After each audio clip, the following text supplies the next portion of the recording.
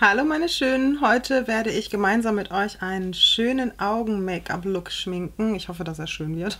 Ich sage das so, ne? Äh, mit einer neuen Palette und zwar von Nabla, die Dreamy 2. Ich habe dieses Produkt zugeschickt bekommen von dem Online-Shop Cosmetic for Less und habe mich sehr darüber gefreut, weil ich wollte die unbedingt.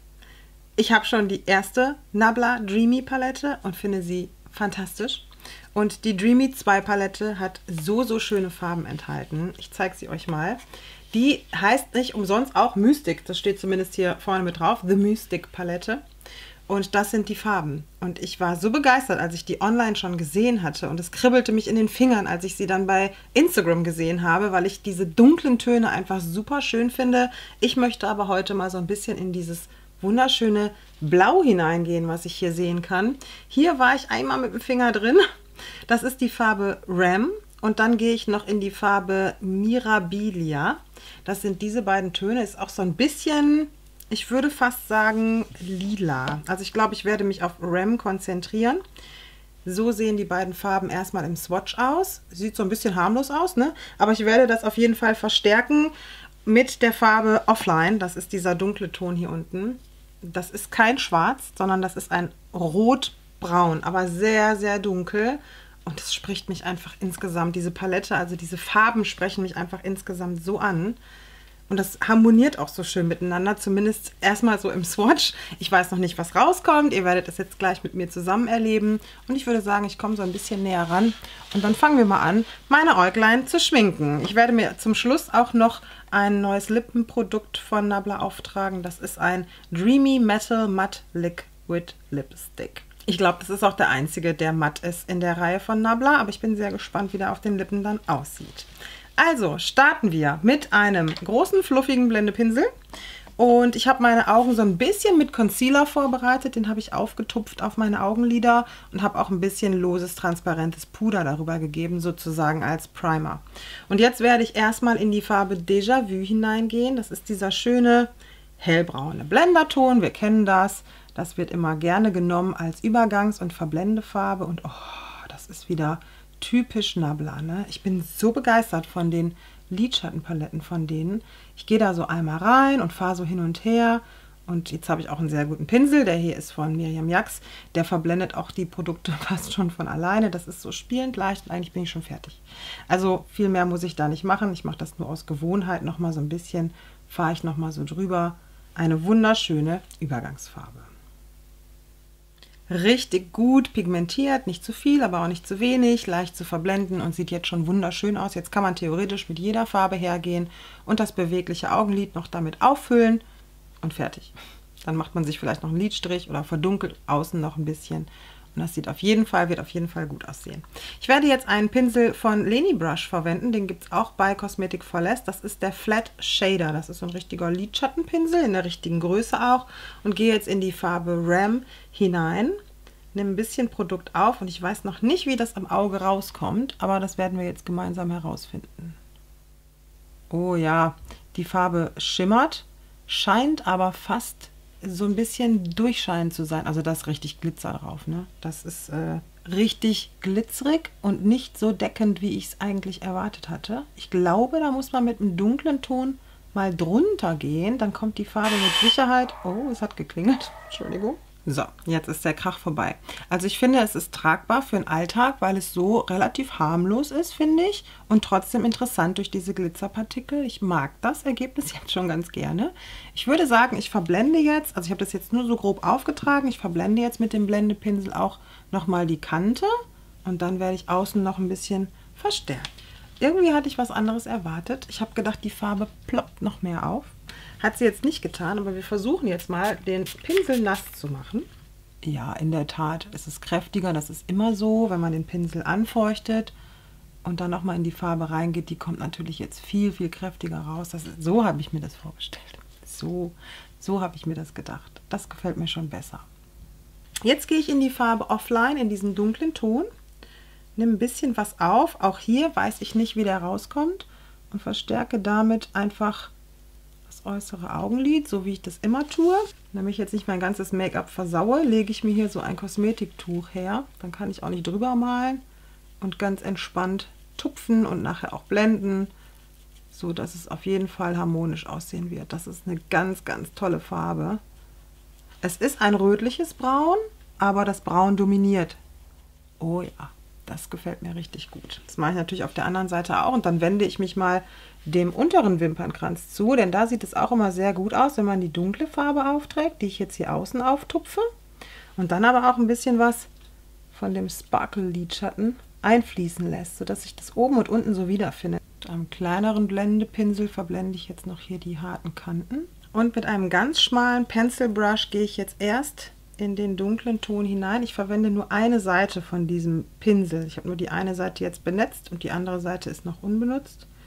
Und schaffe hier eine Verbindung zu dem dunklen Ton nach oben sozusagen. Trage mir das auch relativ, also nicht super fein auf und auch, also schon zwischen die Härchen, aber nicht super fein, sondern schon ein bisschen breiter und gehe so ungefähr bis zur Mitte. Jetzt streiche ich den Pinsel so ein bisschen ab auf meine Handfläche einfach und drehe den um und nehme die unbenutzte Seite und gehe nochmal in die Farbe Ram, die ich jetzt auch auf dem beweglichen Augenlid trage und tupfe das in die Mitte und gehe so ein bisschen nach vorne. Der Pinsel ist jetzt nicht nass, weil ich erstmal gucken wollte, wie das rauskommt. Das schimmert und glitzert natürlich auch im unteren Wimpernkranz. Und ich glaube fast, dass mir das reicht. Ich werde den Pinsel, diesen kleinen hier, für den unteren Wimpernkranz jetzt nicht feucht oder nass machen. Das gefällt mir jetzt schon total gut. Wartet mal ab, wenn da gleich äh, Mascara drauf ist. Ich glaube, das wird der Burner. Aber so weit sind wir noch nicht. Ich muss noch einmal hier unten am unteren Wimpernkranz etwas verblenden und auch hier oben noch mal ein bisschen. Und ich gehe auch noch mal so ganz kurz in die Farbe Déjà-vu, also in den Ausblendton und ziehe mir den ein bisschen höher. Also ich mache einfach nur so einmal so, gehe da so rein und nehme mir diesen braunen Ton noch mal her und verstärke das noch mal so ein bisschen. Mit einem frischen Pinsel gehe ich jetzt in die Farbe Pantheon, das ist dieser helle matte Ton, den gebe ich mir hier unten unter die Augenbraue auf. Und den gebe ich mir auch in den inneren Augenwinkel. Ich glaube, da möchte ich nicht noch mehr Sparkle sehen. Da möchte ich es wirklich matt halten. Sparkle hätten wir hier auch. Jetzt habe ich nur keinen Finger mehr frei. Mit der Farbe Lucid Dream. Obwohl, könnte man ja mal ausprobieren. Ne? Jetzt habe ich ihn eh schon am Finger. Der schimmert natürlich auch sehr stark. Und dann haben wir den vollen Glam. Passend zur Palette verwende ich jetzt auch eine Mascara von Nabla und zwar die Major Pleasure Mascara, die richtig schöne, schwarze, dichte und leicht verlängerte Wimpern auch macht. Ich setze sie an und ziehe sie hoch in leichten Zickzack-Bewegungen. Das funktioniert immer am besten. Sie biegt auch die Wimpern ganz gut, also nicht so stark wie manch andere, aber das reicht mir jetzt in dem Fall aus. Und ich finde, das macht jetzt erst so den Wow-Effekt, oder? Finde ich schon. Was für ein Unterschied. Ist so ein sehr, sehr schönes. Also mir gefällt es total gut. Ihr könnt mir ja mal schreiben, wie ihr es findet. Kommen wir zu den Lippen. Hier hatte ich ja gesagt, trage ich diesen Liquid Lipstick auf in matt, dreamy, mein Gott, dreamy Metal Matt. Ich zeige euch das, bevor ich jetzt wieder was Falsches erzähle und ihr danach schauen wollt und es nachher nicht findet. Ähm, gucken wir erstmal, wie der aussieht, ob der überhaupt zu diesem Augen-Make-up passt. Ich würde jetzt fast schon ein bisschen was Pinkes auftragen wollen. Äh, trotzdem habe ich mir den ja ausgesucht. Die Farbe heißt Antimatter. Und ich gucke mir den jetzt erstmal auf meinem Handrücken an. Wow, ist der schön. Der passt natürlich jetzt so nicht so gut dazu. Ich trage den trotzdem auf. Ich möchte den gerne auf meinen Lippen sehen. Ich kann ja später immer noch die Lippenfarbe ändern. Wow, schon fast spacig würde ich das nennen. Ich finde wirklich, es passt nicht zu dem jetzigen Augen-Make-up-Look. Trotzdem gefällt mir die Farbe, weil die wirklich krass ist. Ich habe die, glaube ich, ein kleines bisschen zu dick aufgetragen, was nicht so schlimm ist. Ich werde sie sowieso jetzt wieder abnehmen. Ich wollte sie euch nur gerne zeigen und ich glaube, zu einem braunen oder roségoldenen Augen-Make-up wird diese Farbe hervorragend aussehen. Werde ich bestimmt auch nochmal schminken, seht ihr dann bei Instagram oder in einem Video hier. Und äh, jetzt mache ich die mal wieder ab und mache mir mal eine richtige Farbe drauf, die, denke ich, besser passt.